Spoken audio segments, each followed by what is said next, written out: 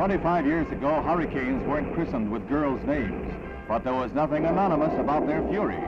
One of the worst in the 30s hammered at the East Coast from the Carolinas to New York, leaving an unusually high toll of damages in its wake. There were few deaths in this blow, but it was a preview of the one in 1938 when more than 600 died.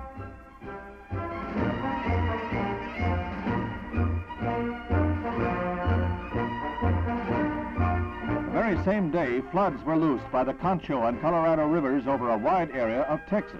Thousands were forced from their homes, and the known flood damage was well into the millions. Man has always been a puny creature when facing nature's fury.